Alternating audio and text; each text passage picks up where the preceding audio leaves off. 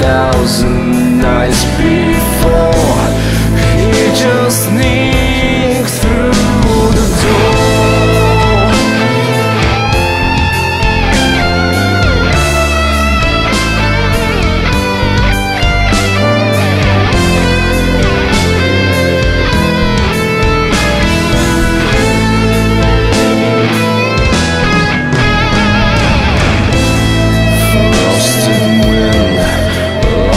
his in Away from childish dreams. Silently